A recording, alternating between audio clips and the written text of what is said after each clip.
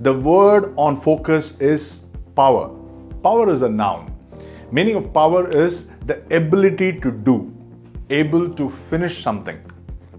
You can say the political strength, politician's power can be anyway. Power is defined as the ability to act or have influence over others.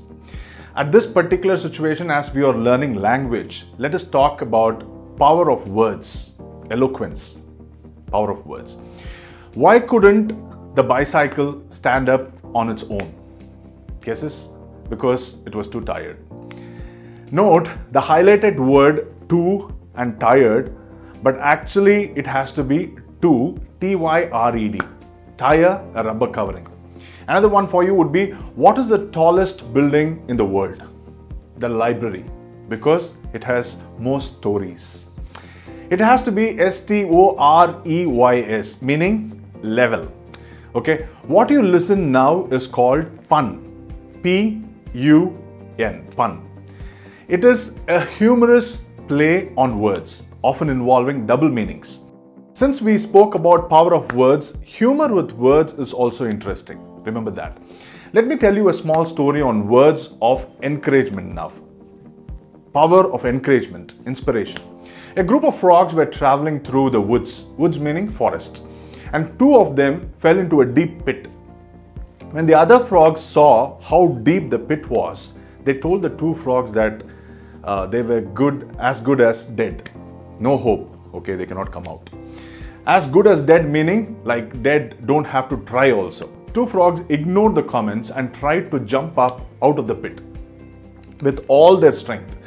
The, the other frogs kept telling them to stop, that they, they're almost dead, no point in trying.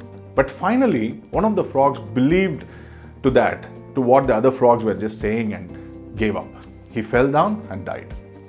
The other frog continued to jump as hard as he could. Once again, the crowd of frogs uh, the army of frogs to be precise, yelled at him to stop and just die because it's causing a lot of pain. He jumped even harder and made it out. Somehow he just made it out. When he got out, the other frogs asked, Did you not hear us?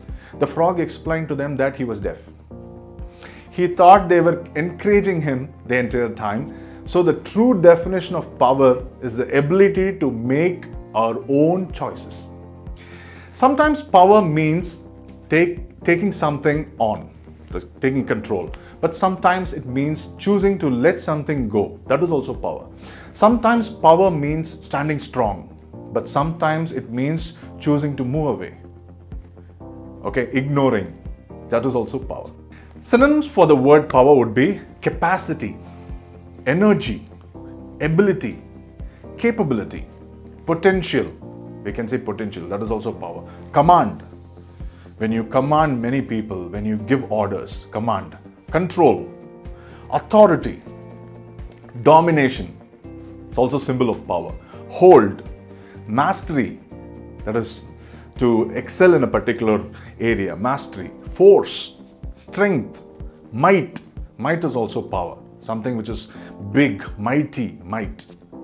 Antonyms or the opposites for the word power would be weakness, okay to feel weak that is the opposite. Related words would be talent influence skill rule leadership authority privilege see related words you can be used as something to be with similar words not synonyms not same meanings but similar words okay let us see the word power in few sentences so that we could understand the usage you can say the power of speech Okay. Jack established a company which produced millions of dollars annually. In five years, he became the man with the most power in the country. Okay, he worked hard, so he became very powerful. I have no power over him. He does what he wants to. Our parents used to tell this. She has the power to charm anyone she meets. Very charismatic, we can call it. Does the president have more power than the prime minister? That is also one form of sentence. So the origin of the word power would be somewhere in Middle, Middle English from Anglo-Norman French power from an alteration of Latin posse means uh, be able to. I have a quiz for you. Which is the longest word in the English language? with just one vowel. What is a vowel? A, E, I, O, U. So examples of vowel. What is a consonant? Anything other than A, E, I, O, U or consonants to form a syllable. The question on the quiz, one more time, which is the longest word in English language with just one vowel? I'll give you a tip. Um, it is the synonym of the word power because the, today's word was power, so it's a synonym of the word power. As usual, the answer for the quiz in the end what does the phrase more power to your elbow mean? Praise for someone's success or wish someone good luck or success. You can say all power to your elbow also okay? I have decided to quit my job and set up my own business you say to someone okay? Someone says well good for you. More power to your elbow. More power to your elbow or power on your elbows.